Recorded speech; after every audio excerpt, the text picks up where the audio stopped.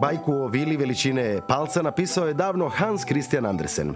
Priča je to o sićušnoj vili palčici rođenoj u cvijetu koja kreće u potragu za svojim princem. Ja sam super talent u Osijeku. I mi imamo svoju palčicu koja je krenula osvojiti srca publike i žirija. Dobar dan. Ovako se samo kreni. Čekaj malo, Cvjetiću. Kak si ti lijepo obučena. Ko te je obukao? Mama, A u što si se to obukla? u palčicu. Patkicu. Nema me zezati. Ba. I ti ćeš nam nešto izvoditi danas. Kad ćeš biti? Palčica. Koje ti pitanja postavljaš? Obukla se u patkicu da izvodiš što? Labđe jezero. Aha, pardon. Odi patkice. Odi pokaži što A znaš. čime se baviš inače?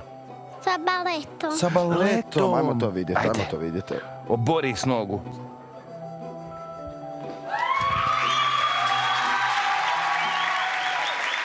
Mlada djevojčica dolazi također iz Požege, iz plesnog studija Marine Mihalčić, a ona se zove... Hana Ledić. Koliko imaš godina, Hana? Pet i pol. I koliko dugo ti plešeš? Od dve godine. Odlično. već dugo. A reci, ovaj kostim ti je prekrasan. Ko je to napravio? Teta Đura. Teta Dura. Patkicu. Sojno gledam, nema patkice Pa i meni malo čudno bilo, ali umjetnička sloboda.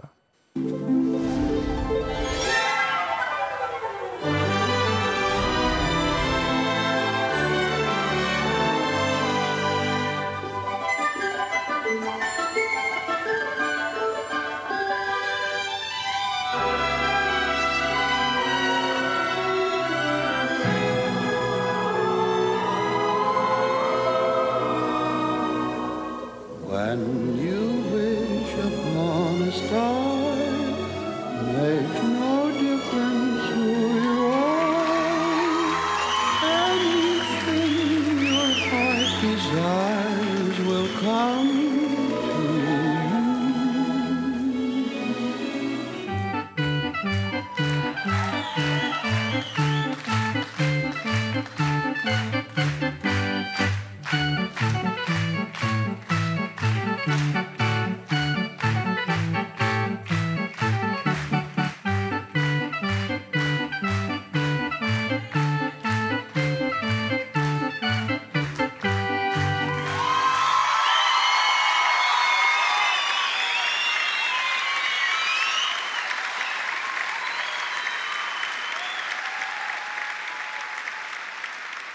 Odlično si plesala.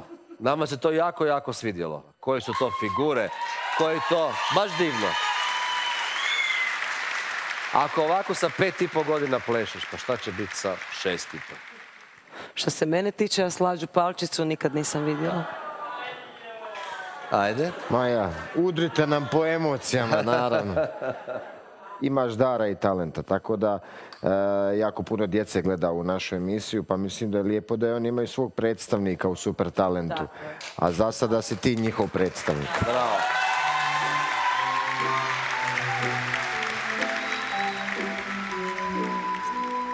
Palčica.